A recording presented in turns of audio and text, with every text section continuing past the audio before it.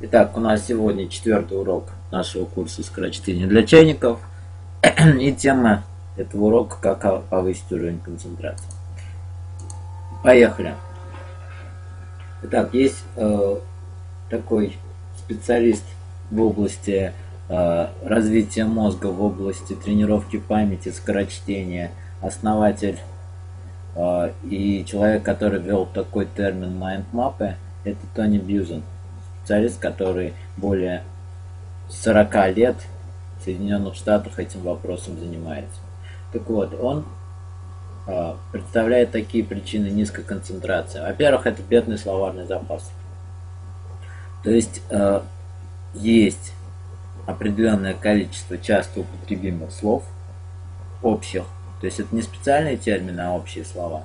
Так вот, если у человека такой общий словарный запас достаточно низок, то чтение любого текста для него представляет сложность. А как с этим проблемой бороться? То есть не нужно останавливаться, не нужно э, начинать размышлять про то, что значит это слово, сразу лезть в словарь. То есть надо быстро читать, подчеркивая все незнакомые слова. А потом э, одним махом, то есть э, зале открываете словарь и все слова эти просматриваете.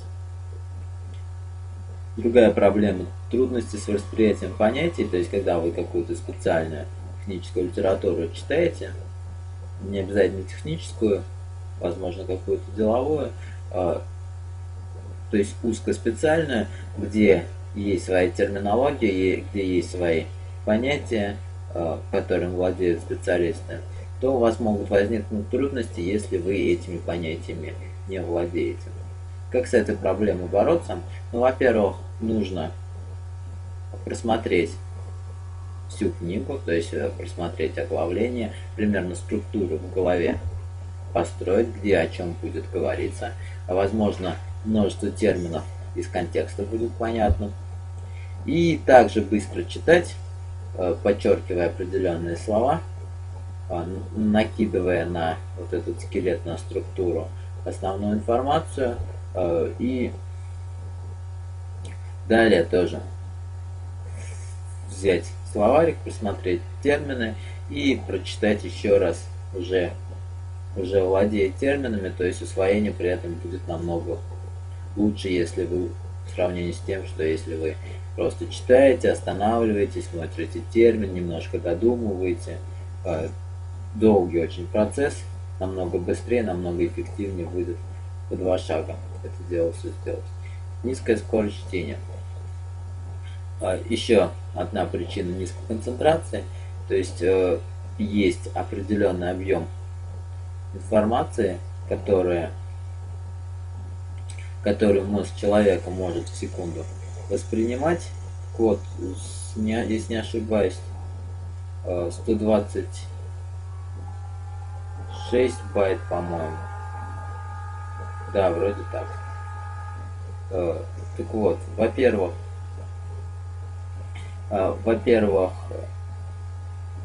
если вы читаете при низкой скорости, то вы этот объем задействуете только на 5, максимум на 10%, соответственно, ваше все внимание распределено, то есть э, ваш мозг, он не полностью нагружен и э, приходится параллельно заниматься еще чем-то. То есть, если у вас э, включен телевизор, то вы именно половину будете слушать телевизор. Если вы там сидите в библиотеке, то вы будете отслеживать, какие там миграции людей происходят в библиотеке. Кто зашел, кто взял какую книгу, а, причем периодически ваше внимание будет переключаться и понимание будет низким. Вы будете, когда возвращаться к тексту, забывать, о чем читали. А, вся эта проблема решается, когда вы читаете очень быстро. То есть все ваше поле внимания, а, оно направлено на извлечение, извлечение информации из текста. понятно, что э, распределение внимания это такой биологический процесс, то есть э, идет он из глубокой древности, когда была опасность, что на человека нападут там дикие звери и так далее, то есть определенный уровень внимания а, должен был а, контролировать все, что происходит вокруг, чтобы случае чего мгновенно бежать или мгновенно вступить в битву. А, сейчас такой проблемы, особенно в библиотеке, например, или в вашей комнате, когда вы один и читаете, такой проблемы нету. Поэтому можно все ваше внимание направить на вашу цель, на чтение. А, рассеянное внимание. Рассеянное внимание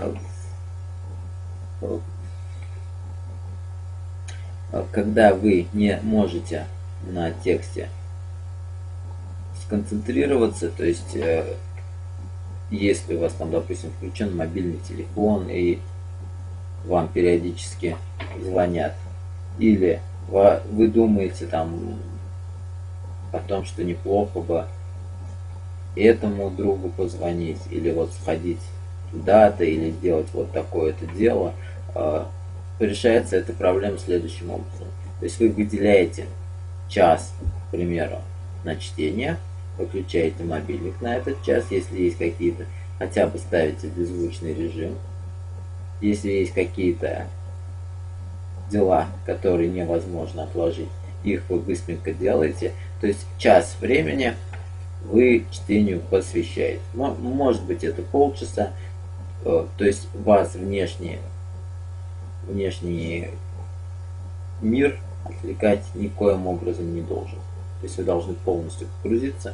От этих получаса или часа э, результативности намного больше, чем если вы будете 4 часа сидеть, периодически отвлекаться по мобильнику, кто-то позвонил, вы уже отвлеклись, уже не помните, что было в начале, либо какая-то мысль пришла, что надо что-то скачать там или кому-то email отправить, вы бежите к ноутбуку, отправляете этот email. В общем, получается так, что куча времени прошло, а существенного ничего так и не сделали. То есть проще разделить на временные блоки и в этих временных блоках все, все проделать. Так, следующий. Низкая организация уче, э, процесса чтения. Это то, что нужно все приготовить. То есть карандаш, если вам он нужен, чай, чашку чая, если вы хотите пить во время чтения. То есть вот э, весь ваш рабочий стол должен быть приготовлен. То есть, чтобы не отвлекаться, не ходить, э, когда вам там захотел что-то, какое-то слово подчеркнуть, не ходить за ручкой, отвлекаться. То есть все на вашем рабочем месте должно, должно быть под рукой. Температура температура там определенная, то есть не жарко, не холодно. А, если света не хватает, то заранее позаботиться о том, чтобы светильник принести или достаточно освещенно включить. И так далее. Я надеюсь, понятно. Отсутствие интереса. Отсутствие интереса бывает, когда вы, у вас нету особой цели. Как, в принципе, отсутствие мотивации.